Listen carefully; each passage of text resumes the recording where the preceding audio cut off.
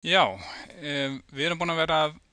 ræða hérna um undarfarið uh, standard uh, template library. Um, og við erum búin að vera að tala um iterators og containers. Og nú ætlum við að klára þessu umfjöldun með því að tala um gener, gener, generic algorithms eða getur við sagt almenn algrím sem að koma með standard template libraryinu.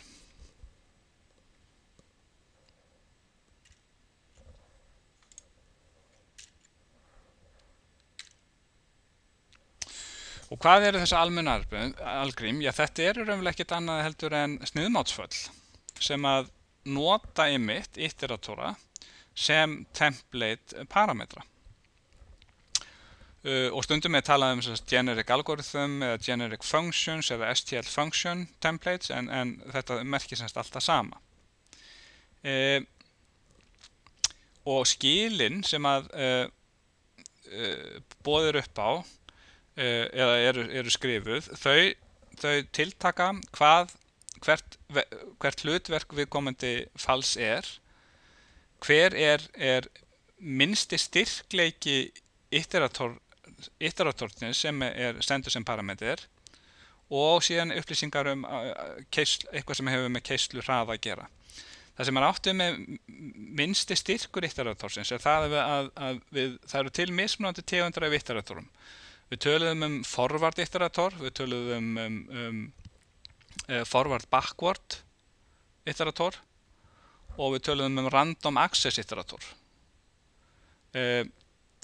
og uh, þetta eru mismöndi styrkleikar. Sko í forvart eittaráltórum er einhverjum hægt að ferðast uh, uh, fram í, í stökum undirlíkjandi gáms. Forvart bakkvort þá er þetta að fara í báðar áttir og random access þá er hægt að komast í, í, í tiltekki stak með því að nota fylgistilvísanir og þessi, þessi tilteknu föll sem við ætlum að fara að skoða þau segja til um hvers konar íterator er nöðsilegur til þess að geta notað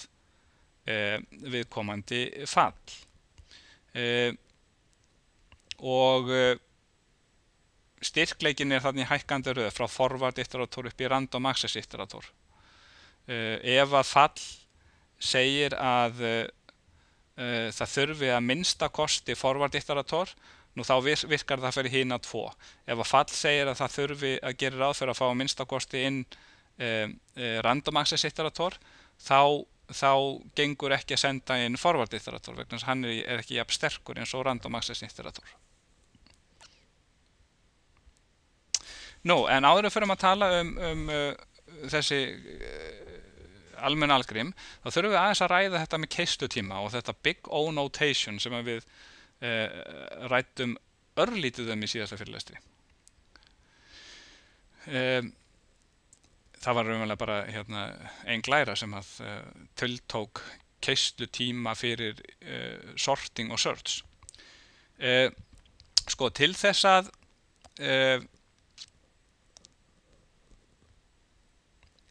sko, þegar við erum að aðtóa hvað hversu hraðverki tilteklinir algórumar eru þá verður við raunverulega að geta tilkynnt það sem eitthvað fall af uh, st intaksstærðinni uh, sko við getum við getum vissulega hérna mælt keistlutíma forriðs með einhver, bara með, með klukku eða Eh, eða með því að kalla í systemklukkuna í, undirleikjandi stýrikerfi til þess að ákvæða hversu hratt viðkomandi e, forrið keirir. En hvaða vandamáli eru tengt, tengt þessu? Jú, það er til dæmis það að e, ef við færum forrið okkur yfir eitthvað aðra vél þá fáum við kannski allt annan keislutíma. E, annar vandamál er það að, að þegar við keirum forritið okkar og erum að mæla keislu þess þá, er, þá erum við með eitthvað ákveðin uh, ákveð intak sem við notum við, við prófunina segjum til dæmis bara lista af lengdinu 100 en hvað gerist ef að þegar við keirum forritið okkar fyrir lista af, af lengdini 100.000 eh, hvað gerist þá? Er um línulegan vöxt að ræða í keislutíðamalinn til dæmis eða er, er vöxturinn einhvern veginn öðruvísi? Þannig að við þurfum að geta sko sett fram keislutíma á einhvern máta sem að er uh, fall af intakstærðinni eða, eða stærð vandamálsins. Og í það sem við erum að fjalla um hér er, er umvel það sem kallast worst case running time. Uh, það er að segja að við ætlum að reyna að búa til uh, eða meta keislutíman fyrir, fyrir uh, það tilvik sem er worst case. Það, þá eru við komið hámark. Þá eru við komið hámarsmælingu á eða eitthvað hámark á, á keislutíma viðkomandi algoritma. Nú, hvernig getur við gert þetta? Eða til dæmis að, að uh, telja bara uh, skrefin í algoritmun eða vil telja uh, aðgerðirnar og þá stöndum við fram með fyrir þessar spurningu hvað er skref og hvað er aðgerð? Já, við gætum svo sem sagt að, að við getum sagt að við, við teljum aðgerðirna eins og til dæmis assignment aðgerð og minnen og and og, og not og og það að vísa í sagt, random access hérna uh, samanburðarvirki og incrementvirki og svo fræmins að þetta séu aðgerðir og, og við erum alltaf einfalla hlutana með þessu en, en svona í praxis þá virkar þetta ágætlega. Til dæmis ef við ætlum okkur að telja aðgerðir í svona uh, falli hérna, ég myndum okkur að þetta sé fall þetta er, þetta er fall sem er, er raunverulega uh, leitarfall. Við sjáum að hérna það er satt bool found, eða i er saman sem 0 bool found er saman sem false svo kemur hérna vælikja á meðan að i er minn en n þar sem n er þá fjöldi staka í einhverjum gámi eh, undirleikjandi gámi eh, og, og not found meðan þess að við erum ekki komin út á enda og við erum ekki fundið stakið þá leitum við að því hérna og segjum ef a við er saman sem target target er stakið sem við erum að leita að þá er found saman sem true annars hækkuði i, i og förum hérna aftur uppur Nú, ef við til dæmis gerum ráðferði að það sem við erum að leita sé ekki í, í þessum fylki, segjum bara að gámurinn hérna sé fylki, þá er spurningin hversu margar aðgerðir eru að framkvæmdar hérna í þessu, þessu falli. E, já, það er ljóst að þessi líkja hún keirir ennsinnum og það eru sex aðgerðir í sérkverju ítrun. Akkur er það, já, við getum sagt að hérna er ein, hérna er minnen, hérna er and og hérna er, hérna er not, hérna er komin að þrjára aðgerðir. Fjórða aðgerðin er hérna uh, random access aðgerðin að vísa uh, í, í tiltekki stakafylginu. Samanbörða aðgerðin er fymta uh, og, og, og, og plus plus plus er hérna sjötta. Við erum semst að gera á fyrir að að targetið ekki í arðinu þá, þá er þessi aðgerð hérna, uh, assignment operatorinn er ekki framkvæmdur. Þannig að þetta eru sex aðgerðir sérkverjir, sérkverjir ídrun og eftir enn ítranir þá fyrir við enn einu sinni upp í hérna vælileikina og, og tjekkum á því hvort að um, ég sé minn en enn uh, og uh, það er það ekki lengur þannig að þá hætti vælileikjan og þá uh, teljum hérna líka með and og nott hérna að það, þannig að það séu umvel þrjár aðgerðir hérna viðbót sem eru gerðar. Þannig að í heildina getum við sagt hérna að, að við erum með sex aðgerðir per ítrun, við erum með n ítranir og svo pluss þrjár aðgerðir hérna alveg í lokin þegar við, við tjekkum á, á vælskýrinu í síðasta sinn þannig að við getum sagt ok, við erum með 6 n pluss þrjár aðgerðir í þessum algoritma.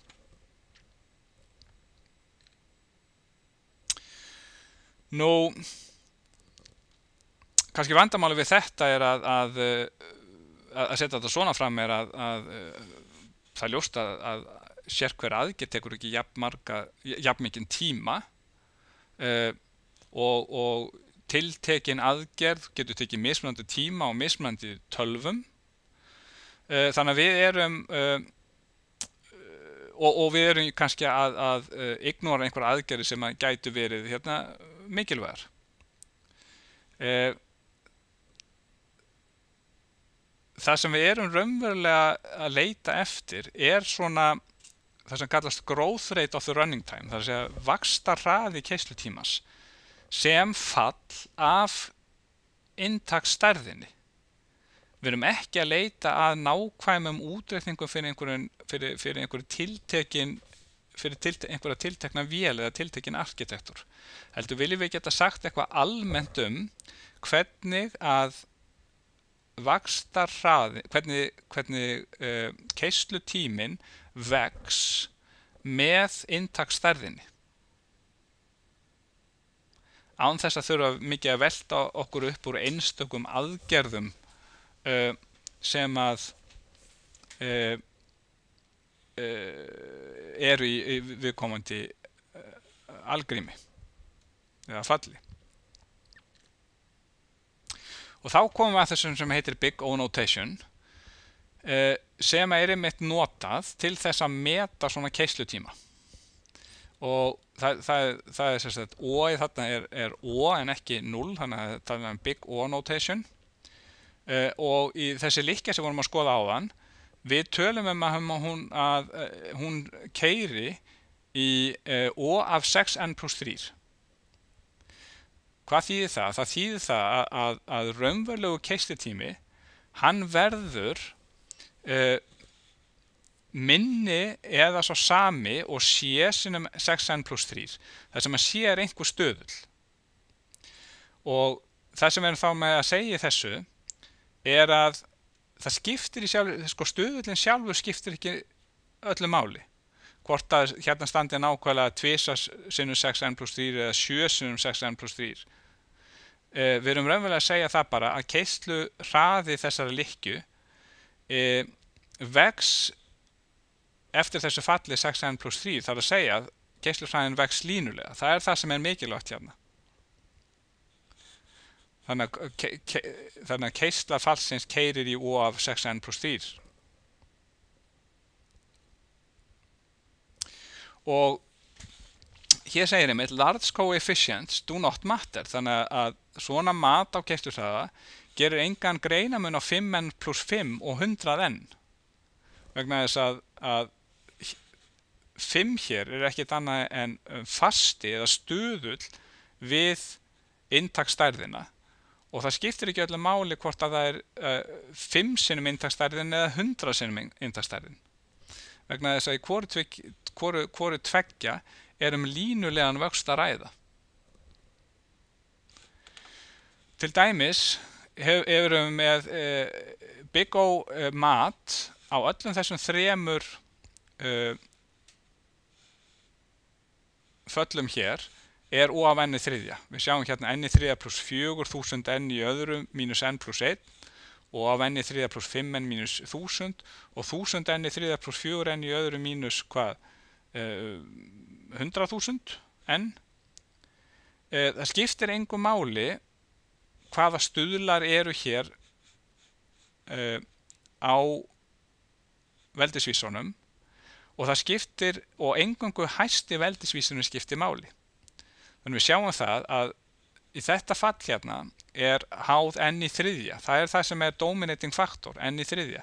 Enn í þriðja hér og enn í þriðja. Það að skuli vera eitthvað enn í öðru hérna, það raunverulega týnist í þessum dominator faktor. Enn í þriðja er miklu, miklu uh, vöxtur þessi miklu meiri heldur en enn í öðru. Þannig að við notum alltaf stærsta veldisvísin og gildir engu hvaða stuðul stendur á honum. Þannig að Big O mat á öllum þessum föllum er alltaf ofan í þriðja. Og hvernig, hvernig, hvernig uh, tólku við þetta þá? Já, þá erum við að segja raunverulega að þessi föll, þau vaksa með enni þriðja hraða. Það sem enn er intaksstærðin keislutíminn vex sem hlutfall sem fall af enni þriðaveldi. Nú, ef við uh, látum t af n uh, standa fyrir keislutíma, þá tölum við um að eitthvað sem línulegu keislutími, ef að það lítur svona út, an plus p, a sinum n plus p, þar sem a er einhver stöðull uh, og n er, er hérna intakstærðin, Við tölum um quadratic running time þegar að, að TFN hefur sitt hæsta, stærsti liður enn í öðru og, og svo getum við ímynda okkur til dæmis enn í þriða eins og við sáum á, á glærun á undan. Nú, síðan ef við hugsaum aðeins um uh, svona keislutíma sem eru mjög hraðir þá er til dæmis O af log n það er þá fatt sem að um, já, fatt sem, sem hefur keislutíma sem O af log n er mjög hraðvirt það, er, uh, það, það vex bara eða uh, worst case er log n er logaritmin af n. Og við sáum dæmum uh, já, til dæmis föll sem að leitarföll sum ná þessum uh, keislutíma aðtjóða þannig erum við ekki að tala um föll sem að leita frá upphafi uh, til dæmis lista í enda lista vegna þess að ef að svo væri þá væri þetta að keislutímin O af N ef það þurfti að rulla í gegnum annan, allan listan þannig erum við til dæmis að, að gera ráðferði að um, undirlikjandi uh, gögg séu geimt uh, hægt séu að framkvæma með binary search tvíundar leit á,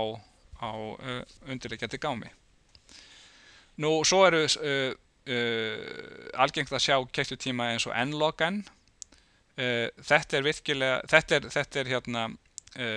ekki eins hraðvirt og, og, og línulega vegna þess að það væri O af n en, en þetta er miklu hraðverkara heldur en quadratic sem, er, er, sem hefur n í öðru sem, sem hæsta, hæsta lið og þetta er algengt að sjá í svona bestu uh, sort algoritmánum. Og hérna sjáum við til dæmis þessi mynd skýrir ágæðlega akkur eða skiptir í sjálfu sér ekki máli eh, hvaða stuðlar eru á eh, í, í föllunum. Sko hérna sjáum við fall, eh, TFN saman sem n, þetta er bara línulegt fall, hérna sjáum við TFN saman sem n pluss 2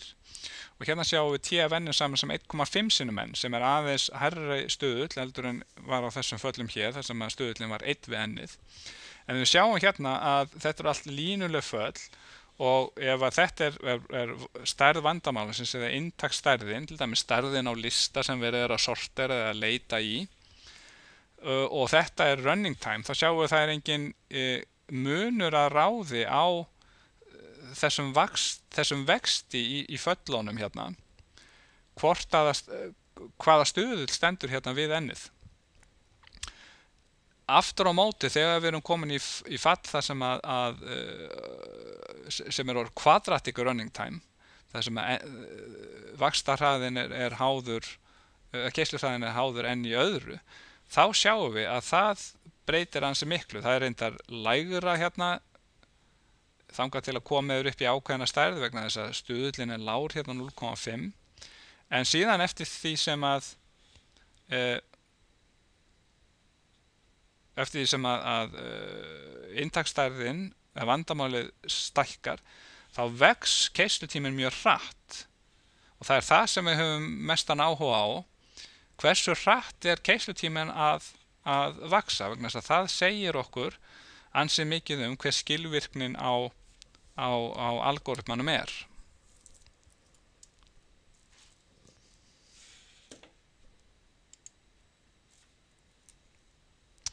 Nó, eh, ef við aðeins spáum í, í hérna eh, meira í, í þessa big O-notation þá og skoðum aðgerðin alltaf með pushback sem er eina af, hérna, þessum aðgerðin til að setja inn í, í gám ef við til dæmis kíkjum á gáminn vektor þá bæði pushback og popback sem að uh, skilar því stæki sem er aftast í vektornum þau, þau hafa raunverulega konstant upper bound keislutíma við erum alltaf að tala um worst case eða upper bound Það er að segja að þetta er bara eitthvað sem maður tekur konstant tíma og á veit. Þetta er ekki háð að við getum uh, uh, bætt við staki aftast í vektor á þess að þurfa að rúla okkur í gegnum vektorin. Og við getum líka skila staki tilbaka aftan á vektorinum á þess að þurfa að rúla okkur í gegn. Uh, sama gildir um, um, um deck, pushback og pushfront og popback og pushback eru all og á veginn Eh, það að inserta inn í lista munið listi er, er tvítendur listi í standard template library það er líka óaveit, þetta er eitthvað konstant tíma. Við þurfum ekki að rúla okkur í gegnum listan við þurfum bara að færa til benda þar. Hins vegar að það að, að leið að finna staðsetningu stags í lista það er óavenn vegna þess að við þurfum að listin er ekki raðaður, við þurfum bara að frá upphafi, frá fyrsta staki til endastags að leita, rúla okkur í gegnum listan og leita stakinu. Og það er þá O of N. Running time, semst keislutímin er, er háður er línulega háður uh, intaksstærðinni að aðtjóði aftur þetta er versta tilfelli. Uh, við gætum náttúrulega verið svo heppin að finna þetta fyrst í fyrstu, fyrsta uh, staki en almennt séð er þetta versta tilfellið. Hérna aðeins meira um, um uh, keislutíma ef við ætlum að insert eitthvað inn í til dæmis uh, uh, miðjuna á vektor þá er það O af n vegna þess að við þurfum að, uh, færa til stökin til hægri. Uh, og aftur því hér að, að, að uh, þetta er vestla tilfellið þó að hérna standi middl þá á getur alveg eins og verið að tala um að inserta já sko þá að við þyrtum bara að rúla okkur gegnum halvan vektorin þá, þá er O af hálft en sama sem O af n er það ekki? Stuðlarni skipt ekki máli. Uh, það að inserta inn í, í vektor á, á, í, í upphæfi það er líka O af n við þurfum að færa all stökin. Um, flestar aðgerðir í set og map eru O af log n það er vegna þess að set og map eru raðaðir uh, eru með röðugögn og þá er hægt að nota uh, effektívari algorma eins og binary search til þess að uh, hérna leita. Við le nýtum okkur það að, að viðkomandi uh, gámur er aðaður og, og við reyndar eigum eftir að tala eins um binary search í, í tengslu við 3 en, en þið geta aðeins reyfjað upp binary search uh, sem við fjöldum um þegar vorum að tala um, um tvítilda lista í uppæfin áskessis uh, sko ástæðan fyrir þetta er loggen er, er svo að okkur tekst alltaf í binary search að, að helminga leitar svæðið vegna þess að gögnin eru, eru röðuð. Ef við erum að leita einhverju staki þá er þá er uh, spurningin hvort að uh, staki sem að við erum að ef við förum í, í sko í miðjuna við hugsaum okkur svo að við séum að bera staki sem við erum að leita að við miðju uh, við staki sem er í miðjunni á gámnum. Og ef að staki sem er í miðjunni er er, er, um, er starra heldur staki sem við erum að leita á þá, getu, þá vitum við að við erum búin að útloka alveg helmingin á gagnónum og svo tökum við aftur miðjuna af næsta uh, hluta. Þetta var það sem við fjöldum um þegar vorum að tala um binary search. Og, og þess vegna er þetta log n uh, uh, keislutími nú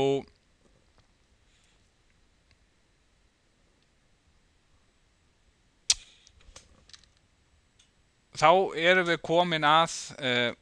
umfjöldunum um þessa þessi almenna algorma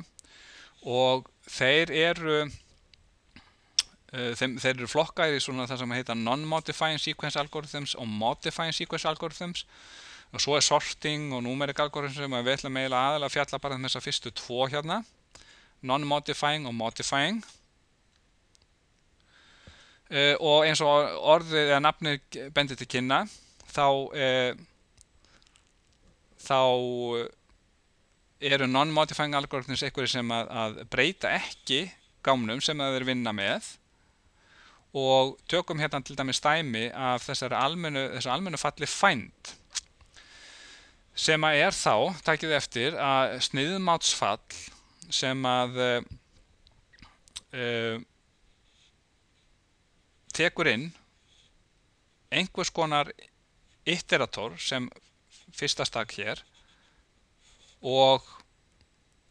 uh, einhvers konar iteratól líka sem næsta stak og síðan það stak t hérna sem er, er annar template parametrin sem er staki sem við erum að leita að. Þannig að það tekur einhverjulega tvo iteratóra og ástæðan fyrir að það tekur tvo er að þetta þetta, þetta tilgreinir umverulega uh, það bíl sem við ætlum að leita að. Við ætlum að leita að í þessu bíli að þessu reynsi frá först upp í last að þessu staki T. Og takið eftir að find virkar þá fyrir hvaða container sem er uh, sem, sem annan ból getur bóðið upp á iterator sem, er, sem er, er að mista kosti jafn sterkur og, og, og þessi iterator sem að gefin er upp hérna uh, og svo er náttúrulega sá, það skiliði á, á t-objektinu hérna að það sé hægt að bera tvö objekt saman vegna þess að við erum mjög að, að reyna að finna eitthvað stak þannig að við þurfum að geta notað uh, samanbörða virkja til þess að, að bera saman stökin. Uh, þannig að svona lítur þetta, þetta fændfall út. uh, það tekur eftir, takið eftir það skila líka itterator, það skila þeim itterator sem stendur fyrir staki sem að fannst. Og þetta leita semst að einhverju staki í, í einhverju, einhverju röð, í einhverju, einhverju sequence. Og fyrsta stakið eh, eða fyrstu tvö þau, þau tilgrænur eins og ég sagði á um bíl eða range semst frá einhverju start upp í einhverju end eða först upp í last og þriðja stakið eh, segir til um þá gildi sem við erum að leita að og ef að eh, gildi sem við erum að leita að Eh, finnst þá skilar find iterator sem að bendir á fyrsta staki sem að var það sama og, og við vorum að leitað. Ef að hins vegar að staki finnst ekki þá skilar það iterator sem að, að bendir á einu staki lengra heldur en, en síðasta stakið. Það er að segja að þá skilar það að sama iterator og end.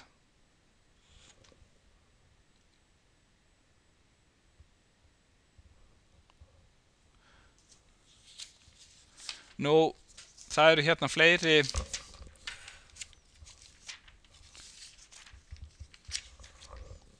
Algoritmar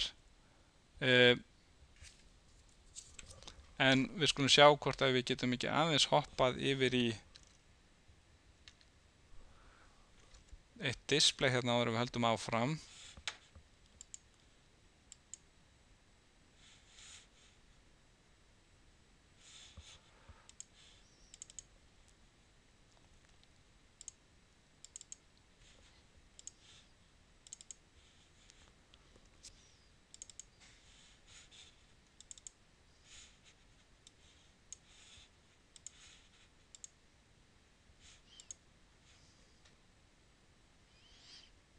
Já,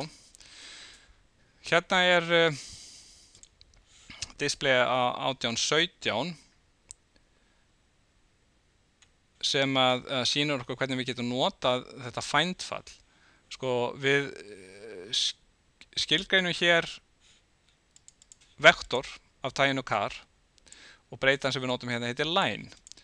Svo uh, byggjum við notandunum að slá inn hérna línu, uh, einhver texta, við lesum það staf fyrir staf eins og við stundum gert á það og, og uh, sendum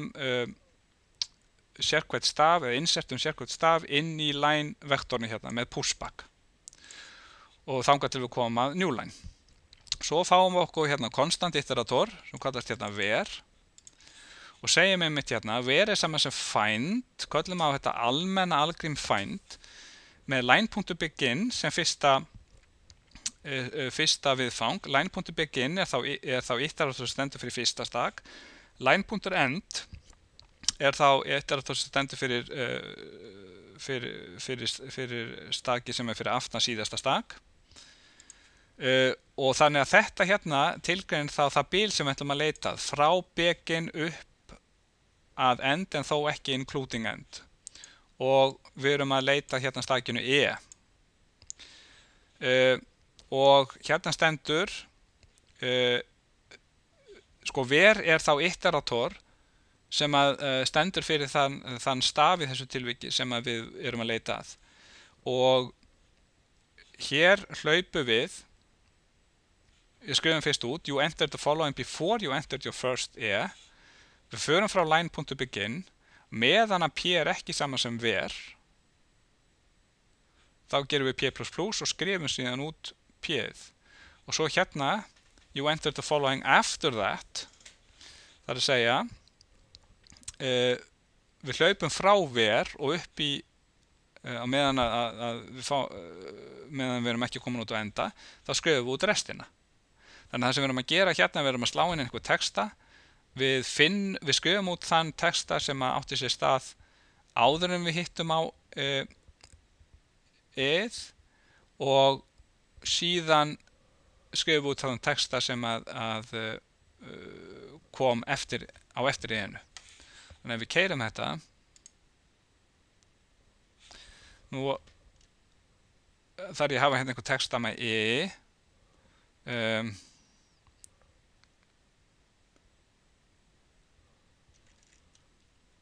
hann er svangur. Og þá stendur hérna you,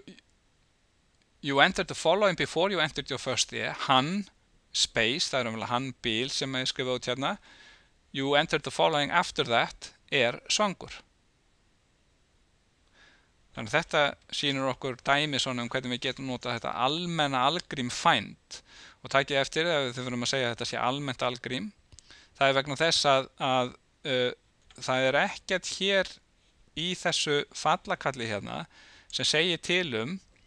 hvers konar uh, undirleikjandi gám við erum að nota. Eina sem við þurfum á að halda er iterator sem að stendur fyrir fyrsta staki í gámnin, gámnum og uh, iterator sem stendur fyrir uh, lokin, þar að segja einu lengra heldur en síðasta stak. Og þar með mun þetta virka fyrir vektor, þetta mun virka fyrir uh, list, þetta mun virka fyrir set og svo framvís. Þess vegna er talað um að þetta sé almennt algrím.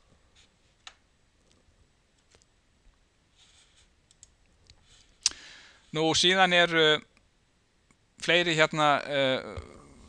algoritmar sem að, að tengjast þessum non-modifying uh, algrimum, það er count að, að, uh, skila tilbaka fjöldastaka í, í einhverju sequence. Og þessi, þessi nafnin á þessum algoritmum þau, þau gefa til kynna hvert hlutverk þeirra er hérna equal search, fyrst, leita fyrsta occurrence of a match sequence within another sequence og, og ég, á þessum glærum er ekki nákvæmlega farið í hvern algoritma hérna, það er mjög nákvæmlega farið í þetta í bókinni uh, í þessum kapla 18.3 þess að hvað sér hver af þessum uh, algoritmum gerir og hvað, hvað viðkomandi algoritmi tekur sem parametra. Og hérna er einmitt binary search algoritmi sem að, maður getur þá notað til þess að leita einhverju staki e, e, í container sem er þegar raðaður. Og takið eftir því að, að í þessu fændfalli sem við vorum að keira hérna áðan, þessi algoritmi hér keislutími hans er O af n vegna þess að hérna erum við með vektor stökin eru ekki röðu þannig að hér þarf að rúla sig frá upphafi til enda. Meðan að uh, í þessu binary search hérna þá er, er uh, keislutímin of logan vegna þess að við erum að gera ráð fyrir því að viðkomandi uh, gámur eða stökinni viðkomandi gámur séu, séu hérna röðuð og getur nýtt okkur það. Við náum alltaf að helminga e, e, minka leitina um, um helmingastökunum í sérkverjum sérkverju ítrun í, í leitarlúpunni það þýðir raunverulega til dæmis ef við erum að leita að í, í, í uh, lista til dæmis af, af lengdinni 16 þá er log af 16 er þá, er þá þetta er log 2 sko, log 2 af 16 er þá 4 uh, þess að 2 í hvaða veldi gefur 16 uh, og það er þá 4 og það segir okkur þá að, að í þessu tilvíkjafi að við þurfum raunverulega bara að, að uh, gera fjóra samanbörði ekki, við þurfum ekki að rúla okkur í gegnum all, allan listan heldur að því hann er raðaður þá þurfum við að gera bara fjóra samanbörði til þess að komast að þakkinu í vestafalli það er, það er þess vegna sem að keislutímin er log n við náum að helminga í sérkvæmt sinn það leita svæði sem við þurfum að leita að eða leita í nú síðan eru þetta voru þess að það sem kallast non-modifying uh, container algorithms. Og við talum um container uh, modifying algorithms sem að, að breyta þá gögnunum eða röð þeirra. Og uh, það er til dæmis að copy, að afreita eitthvað, eitthvað tilteki bíl yfir í annað bíl, það er remove þar sem við getum fjallægt eitthvað stök úr einhverju bíli uh, og það er hérna er fjallir random shuffle sem að, að uh, raunverulega uh, ruggla röðinni í ákveðni síkvens og, og aftur bendi ég á að upplýsingar um þessi tilteknu föll sem við erum að fjallum hérna eru í bókinni nákvæmlega hvaða uh, parametra þau taka og hverju þau skila. Þannig að við fjöllum ekki nákvæmlega um það hér Nú síðan er það að, að, að lokum þessir sorting algoritmar. Það er sagt, til einn almennur algoritmi sem heitir einfallega sort sem að uh, uh, tekur ákveði bíl sem að maður tilgreinir með uh, iteratórum og virkar þá á hvaða container sem er svo framlega sem að, að viðkomandi gámur getur skilað iterator. Og eins og við tölu, höfum tölum, um áðan þá eru þessum svona, þeir sorting algoritmur sem eru hvað skýrvirkastist þeir, þeir eh, keira í O af n log n þar sem n er fjöldistakar sem á að sortera. Og eh, það er gerð svo krafa til í mitt sorting algoritmana í standard template library að þeir eh, hafi þennan keislurhraða O af n log n og og eh, eins og ég sagði áðan þá er til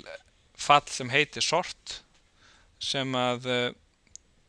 sorterar stök í ákveðnu ákveðnu bíli uh, og uh, síðan er til annað fall sem heitir merge sem að, að, að sparsla saman, að mergea saman tveimur sorteruðum bílum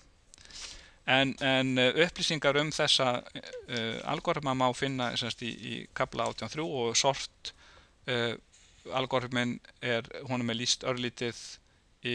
í mitt í lók þess, þess kabla en uh, við ætlum kannski að taka hérna dæmi á eftir um, um uh, hvernig við gætum notað sort algoritman í standard template uh, library. Þannig að ef við klárum hérna uh, þetta svona, uh, ef, ef við gerum sömmari yfir þennan kabla í lókin, þá tölum við um fyrst um iteratora sem væri svona einhvers konar almenn útgafa af bendum sem að leifa okkur að rúla í gegnum svona gáma uh, án þess að hafa, þurfa nokkuð að vita um hvernig undirliggjandi gögn eru geimt. Og þeir uh, Uh, þessir iterator hafa aðgerðir eins og plus plus og dereferencing og það eru ímsa tegundar af iterator, það eru forward iterator þar sem við getum fært okkur fram en ekki aftur, það er bidirectional er það sem ég kallaði forward backward áður held ég. Bidirectional þar sem við getum færið okkur bæði fram og tilbaka og svo er það random access þar sem við getum líka nota svona iterator arithmetic, við getum komið spennt í tiltekið uh, tiltekið stak í, í í undirleikjandi gámi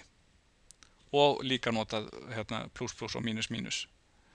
Uh, svo töluðum við um ymsa tegundir af klösum sem eru í,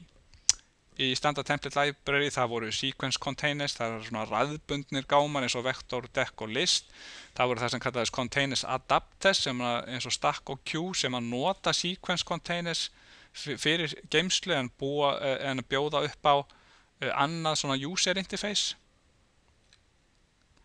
Svo var þessi associative container sem er svona tengslagámar eins og set og map. eh, sem að geima gögnin í, í, í, í röð og map er, er, er svona eh, raunverulega eh, eitthvað sem að geimir key value pairs